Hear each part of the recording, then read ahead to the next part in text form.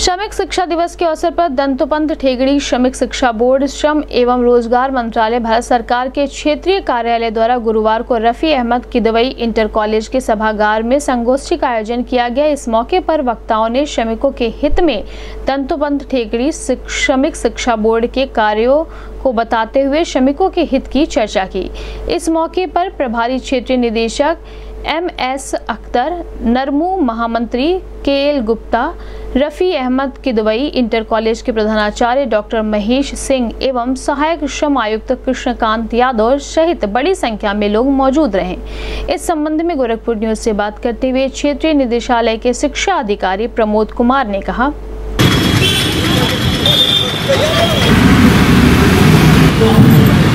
तो होगा कि ना, हमारी भाषा ये जानता है। तो हम भी इसकी भाषा काम करने में हमको दिक्कत नहीं है। इसलिए भाषा को अपनाने के लिए, अपनी भाषा के प्रचार प्रसार के लिए दूसरी भाषाओं को अपनापन का अनुभव करना पड़ेगा। यह अगर भाव आ गया तो हिंदी को पढ़ने में बड़ी तो है ही हुई है। ऐसा नहीं, हिंदी बड़ी संसार की तीसरी भाषा है।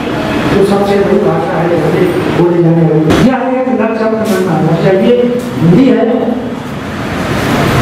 अब एक जो स्वीकार किया गया था हमारे संविधान में हमारे क्या समझ रहे हैं अंग्रेज़ी भाषा की?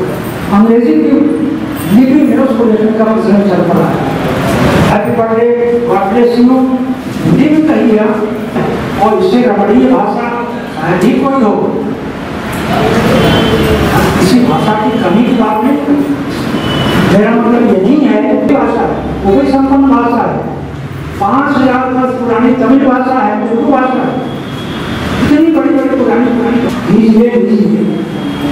तीसरी बात आज़ादी का परिधि है। नब्बे वर्ष के नब्बे लड़ाई के बाद। मानो राजभाषा पर भी इसमें संयुक्त रूप से इसको सम्मिलित किया गया था। और साथ में जैसा कि सिंह साहब ने अपने अध्यक्षीय संबोधन में बताया कि आज़ादी के 75 साल होने के बाद जो है, होने के समय हम लोग इस समय आज़ादी का अमृत महोत्सव भी मना रहे हैं। मेरा नाम प्रमोद कुमार हुआ। मैं क्षेत्रीय निदेशालय गोरखपुर में शिक्षा अधिकारी के रूप में कार्यरत हूँ। ये हमारा विभाग जो पूर्व में केंद्रीय श्रमिक शिक्षा बोर्ड के नाम से इसका स्थापना उन्नीस में 16 सितंबर को हुई थी।